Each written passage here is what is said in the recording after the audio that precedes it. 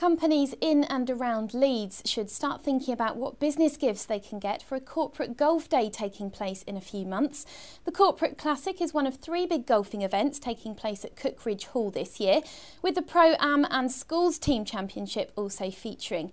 The Pro-Am and corporate events are renowned for bringing together local businesses, professional golfers and sporting stars, including rugby league players and football pundits.